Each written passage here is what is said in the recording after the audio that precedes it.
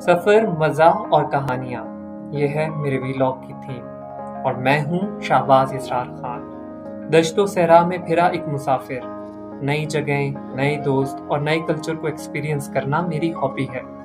By profession मैं एक humanitarian worker हूँ। पच्चीस ममालिक घूम चुका हूँ, जिनमें Turkey, Iraq, Brussels, Italy, Cameroon, France और बहुत से दीगर ममालिक शामिल हैं।